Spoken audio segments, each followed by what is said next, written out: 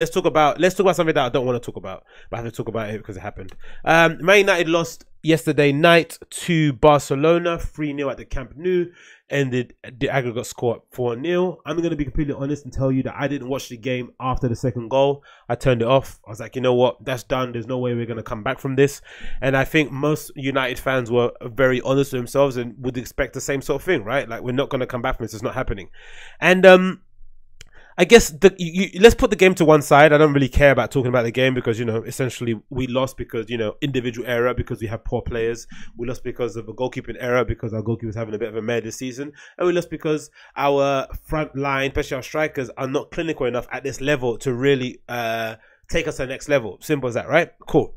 So um, the problems that we have at United are quite broad and very deep, and will require a, a, um, a real ruthless edge to him, right? A real ruthless kind of summer.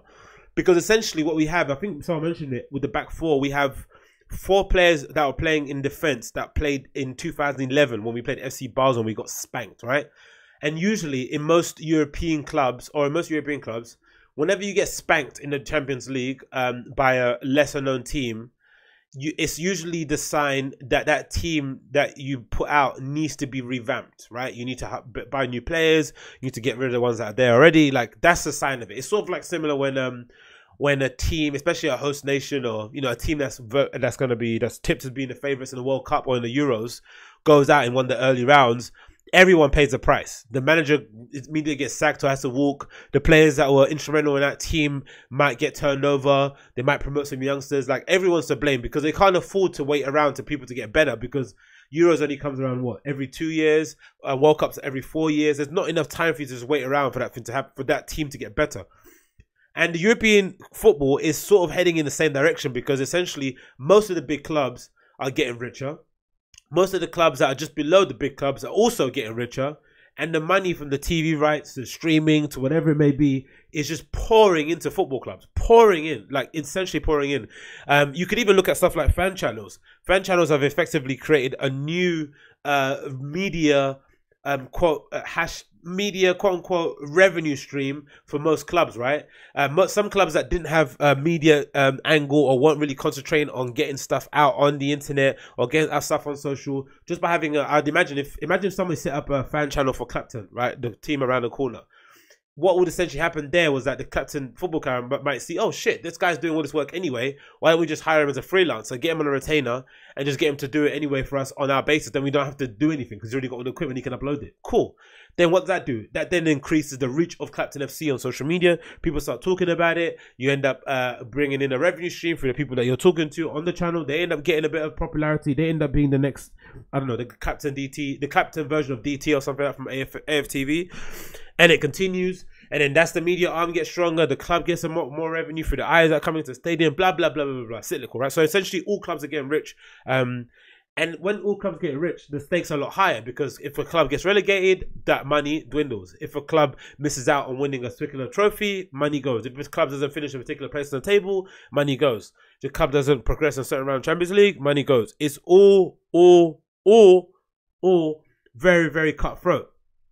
But I think United have been quite lucky in recent years where we've kind of got away with murder, right? We've kind of been able to spend obscene amount of money on players that probably shouldn't be on the money they're in.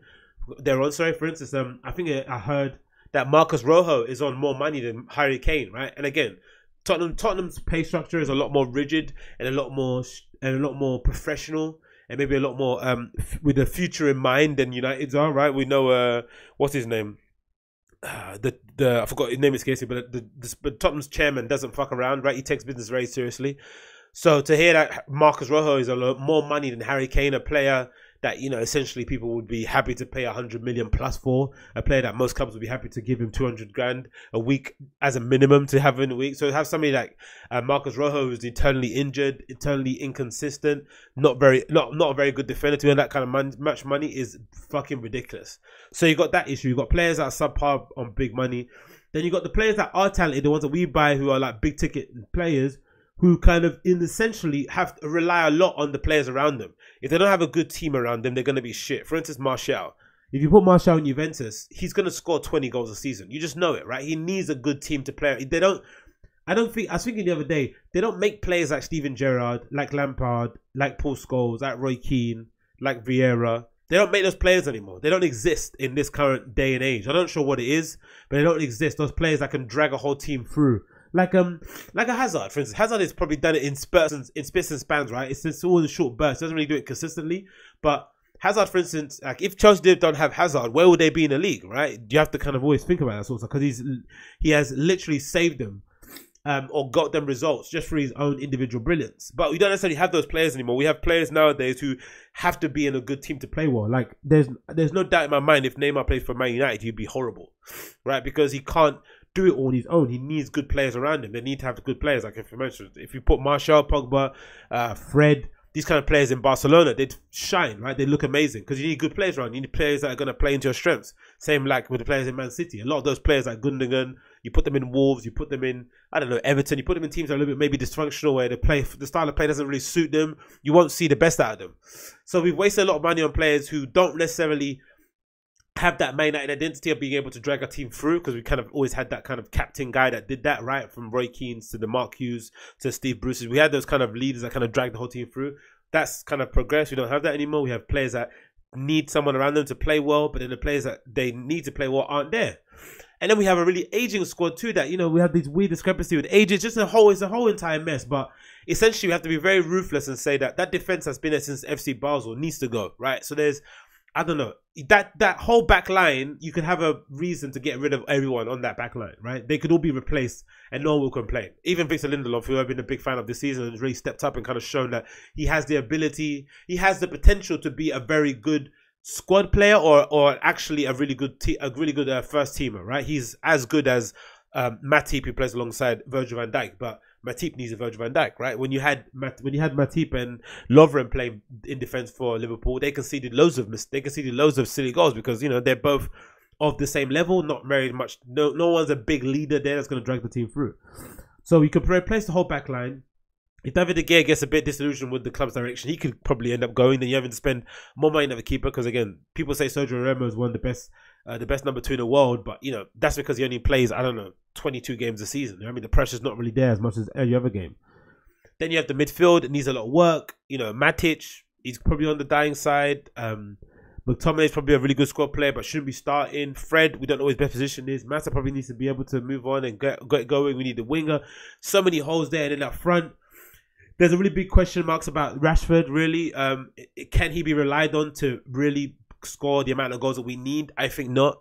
Um, can you rely on Lukaku? Not really. Can you rely on Martial? Not really. So you would probably be looking to buy a Piatek from AC Milan, an actual clinical number nine who can just who just scores goals all the time to kind of put pressure on those players. Because again, I just think Man United boys been like that. I remember when I heard you hear things about players come out in interviews, like Phil Jones coming out one time saying that oh he thinks he's good enough to play, and he was being quite arrogant about how you know what he thinks about his level of um, his standard of play, right? How good he is quality wise. It's just like, you know, some of these players have been given false impression about how good they are from contract extensions, right? Yeah, contract extensions triggered, and you're like, how is Smalling and Jones still at this club? It doesn't make any sense.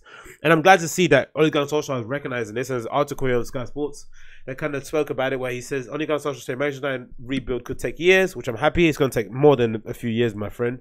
Um, what do you say here? Let's play the video. But we're on with the job, and uh, we've spoken to the players about it as well. That we need to get the best out of each other, create an environment of uh, top, top, top uh, class attitude, world class attitude every Exactly. single day. Exactly. Because we've got good players, and I know I've got good players to work with. And but as, as I've said, at the moment we've uh, we, we've really really done well to get to the quarters here. We've really done well to get uh, in the challenge for top four. exactly. But we have, as I said, I, I like to see who I'm talking to. So we've um, got a rebuilding job, but it's it build it starts with the coaches, with the players, and then of course one or two additions to the squad will will happen in the in the summer. You're not one or two. We need a lot more than that. We need a lot more than one or two. I'm, I'm concerned. So I'm saying I'm concerned because I, I, I just think there's not enough. Um, um, there's not enough. I, I that's what he said, reading between lines, right? World class attitude in the training ground. I think that's needed because you remember when uh, Ibrahimovic came to United. the big difference that you saw was that the players such as Pogba, some of the other shitty players that own that team, even like some White Matter and stuff, the levels just stepped up a notch because that um it the same happened with Cristiano Ronaldo when he arrived at training for Juventus. How many Juventus players did you hear come out and say, "Wow, we we thought this guy was amazing from afar, but now up close, Cristiano Ronaldo is like the up the you know the supreme professional. He comes in, he does his work, he's fucking serious. He stays in late after training to get more work done. He doesn't take he doesn't play no games when it comes to his football thing, and that raised the levels of everyone in the team. And I think in general over the years, because we because Chris Smalling has been captain so many times, he's played, he's the first name on the team sheet because he's only one fit. Phil Jones plays when he comes back because he's aggressive.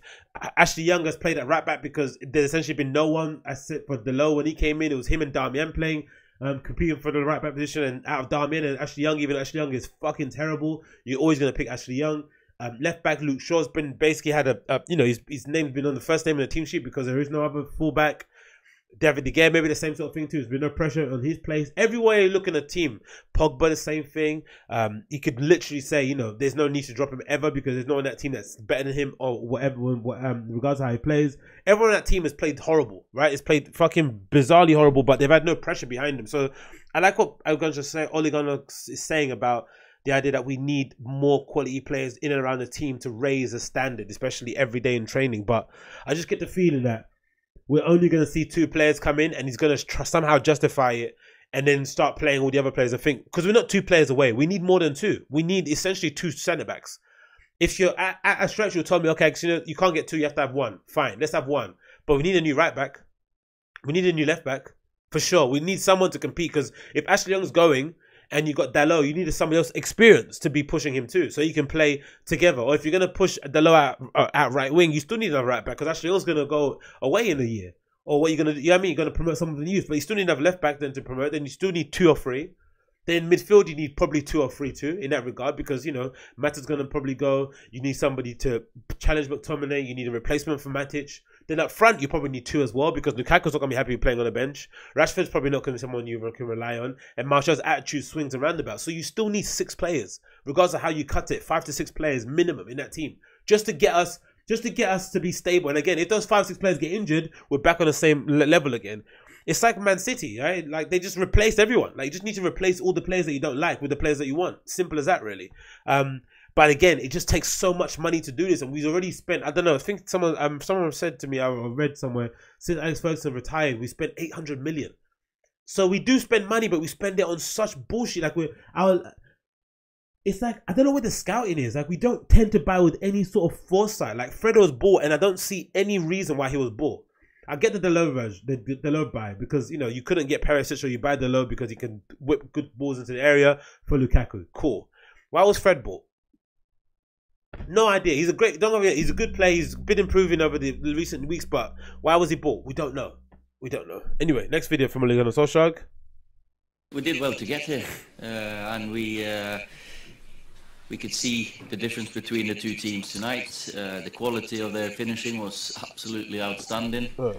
and uh, we started well, as you said. The first 15 minutes, you thought uh, we've we've got something here, and then in four minutes they scored two goals, which made it so hard. But the attitude was right. Second half, we got out there. We knew we were uh, fighting against a good team and some good players out there. So um, yeah, the, we know there's work to be done. We have have said and we've said uh, all along that this isn't going to change overnight, and uh, the next few years are going to be uh, be massive for us to get to the level Barcelona and those teams are at the moment.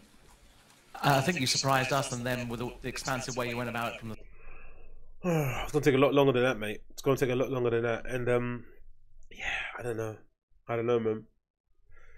That's it, man. But I don't know about the.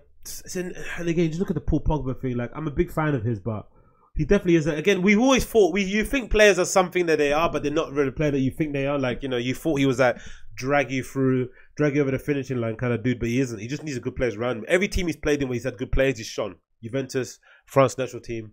That that's obvious. That's obviously the case, and he just needs good players around him. Without good players, he doesn't play well. That ball to Griezmann that he, that he did of, during the international break, that over the top ball, only happens because you have a Griezmann that makes those kind of intelligent runs. You know what I mean? Pulls up, and you know he's gonna bang it in, right? there's no point in popping that ball over the top for Lukaku because nine times out of ten he's probably gonna miss. Um, yeah. What can you do, man? Is what is what it is. We got we got a long, long, long way to go. Um, I'm hoping, I'm hoping he's. Um, number one, we need a football director. Number two, we get Ed Woodward away from any sort of transfers. We need a really good scouting system. We need to have a plan in place for when it goes right with Ole Gunnar Solskjaer and if it goes wrong. We identify the players that we want, the players that fit his profile, that fit the club's profile, and if Ole Gunnar Solskjaer is able to get the best out of those players, we're moving on and get another manager in but there's a plan in place. We don't go and do what we did with previous managers where we just give them money, let them buy their own players, and then another manager comes in, they buy their own players. No, we have a style of play that we're trying to promote. Some players we want. It's kind of like utility players. We get them in, right? Some some specialists, but utility players that every manager would basically want.